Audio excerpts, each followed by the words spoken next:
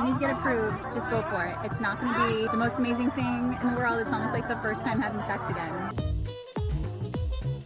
about being sexual after having a baby. No one has not? ever asked me that post baby. It's always like, how do you get your body back? Because I assume there's like a lot Yeah. going on down Well, there. TMI, I don't know. I No a lot of tearing, um, not on the outside, but like kind of on the inside. We were just so scared. You're Look- nervous. right, right. It was literally like having sex for the first time.